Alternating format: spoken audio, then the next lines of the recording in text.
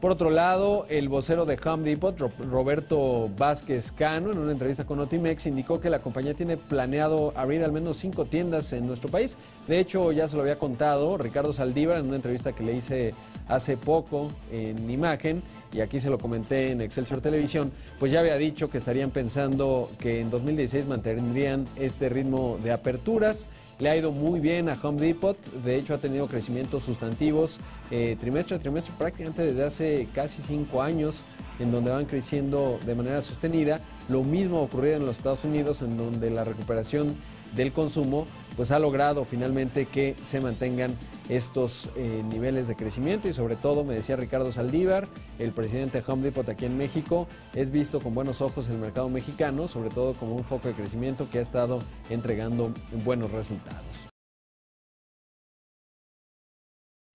Te invitamos a seguir cuestionando la información con los siguientes videos.